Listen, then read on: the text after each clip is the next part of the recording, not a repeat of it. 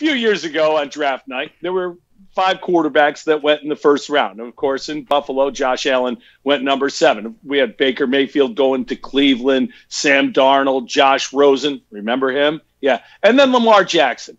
And of course, at that time, the opinions were all over.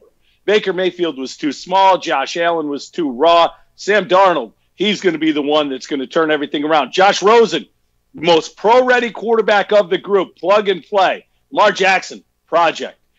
Two years of NFL games have shown us Lamar Jackson could play in this league. He won an MVP last year, if you like that sort of thing. Baker Mayfield's on his third coach this year.